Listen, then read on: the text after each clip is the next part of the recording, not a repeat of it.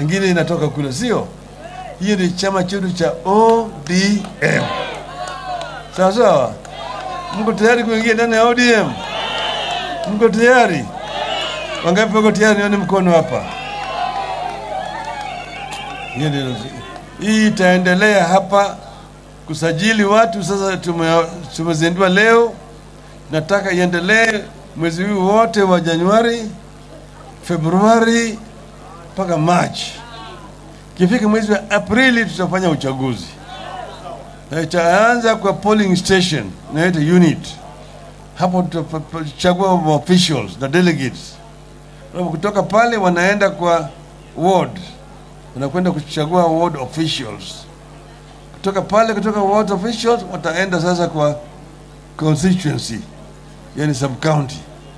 Hiyo ni branch, unakwenda pale kuchagua ma branch official sawa.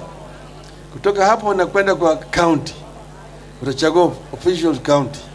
Alafu sasa unakuja Nairobi kwa National Delegate Conference kuchagua officials wa, wa kitaifa. Sawa sawa sawa sawa. Mimi nataka hapa chama iwe na nguvu zaidi, ODM iwe na nguvu zaidi. Mko tayari? Mko tayari? Tena wangapi wako tayari? Nione mkono hapa tena.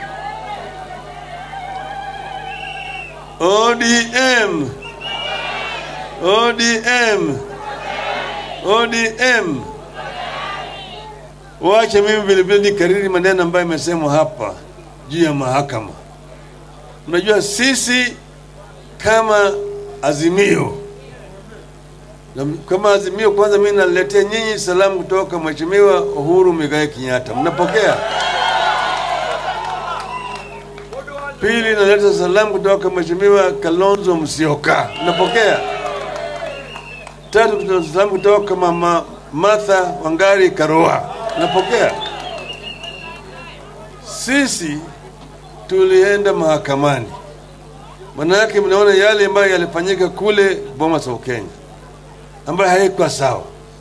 Bwana Chebukati Chebuchetha alitangaza mambo yake peke yake. Walikuwa wale walikuwa ma, ma uh, commissioners saba, Chebukati na wawili walikuwa pande moja, wanne walikuwa pande moja, na wanne walisema sio Ruto, wale walisema ni baba na watatu ndio walisema ni Ruto, sio? Tukaenda mahakamani, tukapeleka kesi yetu mahakama, na mawakili shupavu ambayo walipeleka hiyo kesi wakatoa ushahidi ya kutosha kuonyesha kwamba sisi hatukushindwa. Kulikuwa na mambo ambayo yalifanyika pale, alafu sasa eh, nani hii mahakama ikaamua ikaamua didhi yetu, tena wakatumia lugha mboya mbaya zaidi, lugha ya matusi, ati sijui wishful thinking, sijui nini, hot air na hiyo takataka takataka yote hiyo. Sisi tukasema hatukukubali na huyo uamuzi, lakini tuliheshimu maana yake hiyo ndio sheria, hiyo ndio katiba yetu inasema namna hiyo, ati uamuzi ya, ya mahakama ni final. Sisi tunaheshimu, tunaheshimu. Sasa Bwana Ruto anasema yeye hata heshimu uamuzi ya, ya, hiyo mahakama ambayo iliweka yeye kule, anasema yeye hata heshimu sasa makamu yake ameanza kutoa ushahidi bandia. Huyu naibu yake bwana Ga- Ga- Gachetha alikuwa ameshtakiwa kwa wizi na ufisadi, na kulikuwa na ushahidi ya kutosha dhidi yake yeye mwenyewe. Sasa yeye anaweza kusema tena anashtaki yule ma, yule ma, ma, mahakimu ambaye alisema ati ile pesa ambaye aliiba arudishe kwa serikali.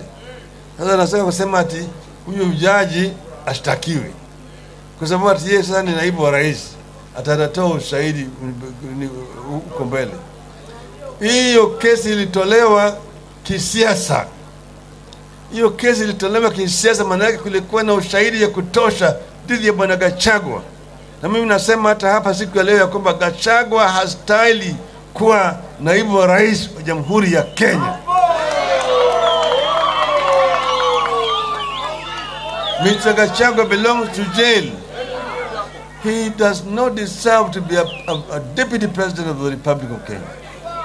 This is how we lowered our standards. Our standards have go- gone so low. It is unfortunate. And I just want to give Mr. Ruto free advice. Please respect the judiciary.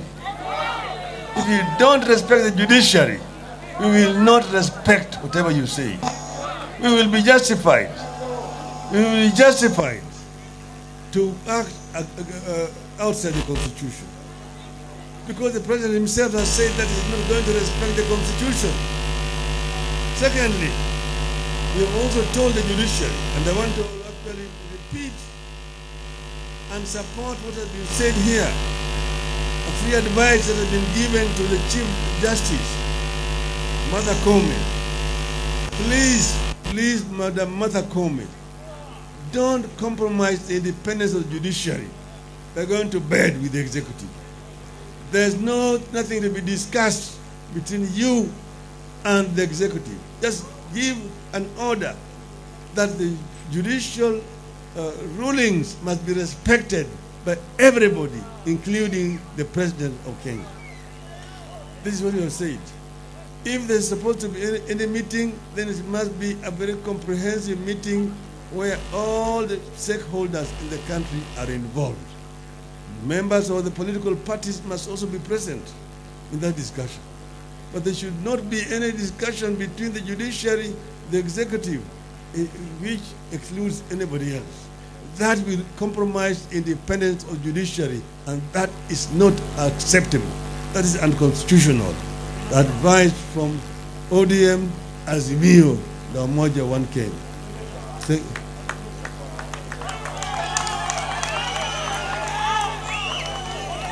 Mnaunga mkono?